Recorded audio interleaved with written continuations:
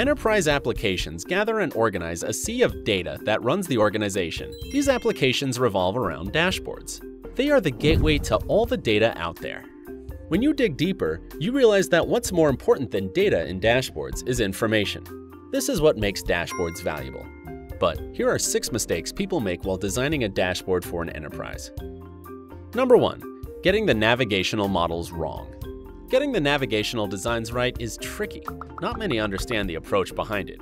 They use a single menu to contain all the navigation, making the dashboard difficult to use. Instead, global navigation can be placed on top, which could include your tools, resources, profile, and logout. Dashboard navigation to the left, which includes your views, types of data, etc., and breadcrumbs can all include deeper drill downs within a content flow. Number 2. Not matching the user's mental model. Users have a certain mental model of expecting and finding contents within a collapsed dashboard menu. So, when you're categorizing these menus, if you don't align them with the user's mental model, you'll create an unusable product. Extensive user research must be done to categorize and name the submenus and sub-submenus within the main menu. You can use contextual inquiry and card sorting processes while designing usable navigation models. Number 3. Failing to match the right data visualizations for the data. Certain charts, plots, and graphs work better for comparison, whereas a few work better for plotting data points. If you do not fully understand data, you'll end up using the wrong visualizations and the data becomes difficult to interpret. So, before choosing the visualization, have a concrete understanding of the type of message you're conveying through the data. Number 4. Static content on a dashboard serves no purpose. Dashboard has no place for static content. If a user knows what will be on the dashboard every day, then he'll have no need for the dashboard.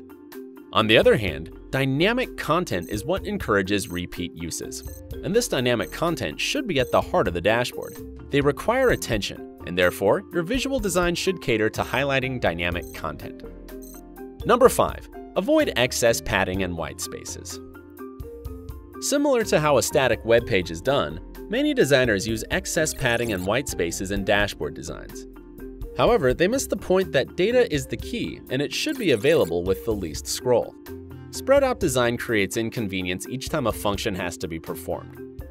Global interactions such as sort, search, and filter should also be easily accessible.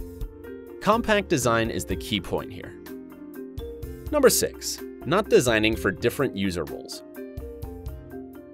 When you don't understand the role and position of a particular user in an enterprise, it is a recipe for an unusable design. You need to understand the context and objectives of different users more than the data alone. You need to conduct extensive user research to better understand the underlying needs. Also, Dashboard could have different views for different roles of users, and it is important to understand everyone's requirements to design better. That sums up most of the common mistakes. Make sure you stay away from these and build a clean dashboard.